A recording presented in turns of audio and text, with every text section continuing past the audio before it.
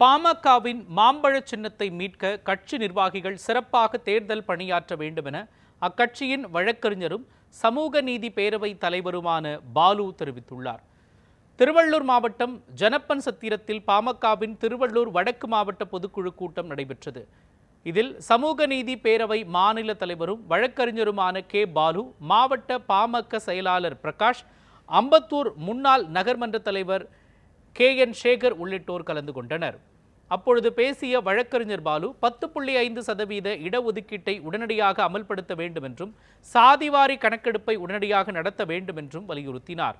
நாடாளுமன்ற தேர்தலில் போட்டியிடும் அனைத்து தொகுதிகளிலும் பாமக வெற்றி பெற கட்சி நிர்வாகிகள் சிறப்பாக செயல்பட வேண்டும் எனவும் அவர் அறிவுறுத்தினார். இந்த கூட்டத்தில் நடைபெற இருக்கக்கூடிய நாடாளுமன்ற தேர்தலில் பாட்டாளி மக்கள் கட்சி பூத் கமிட்டிகளை அமைத்து எவ்வாறு தேர்தல் பணியாற்ற வேண்டும் என்பது குறித்து விரிவாக நாங்கள் ஆலோசனை செய்திருக்கிறோம்.